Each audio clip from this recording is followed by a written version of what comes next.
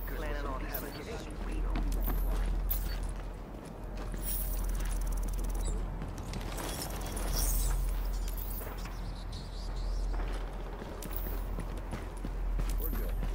You know where to find us. Get in touch if you have something else to sell.